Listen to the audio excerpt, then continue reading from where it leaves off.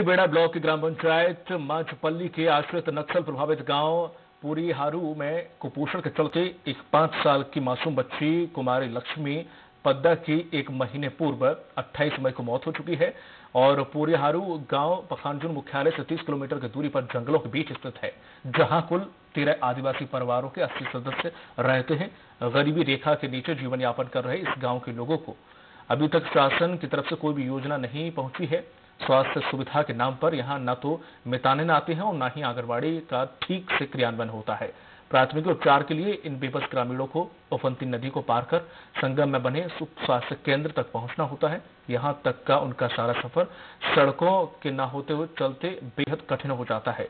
गाँव में अब भी कई कुपोषित बच्चे हैं जो इलाज के अभाव में दम तोड़ रहे हैं। अगर प्रशासन इन बेबस ग्रामीणों की मदद की ओर इनकी तरफ़ हाथ नहीं बढ़ाता है तो शायद मासूम लक्ष्मी जैसे कई जिंदगियाँ अपने माता पिता की गोद में खिल रही होती हैं।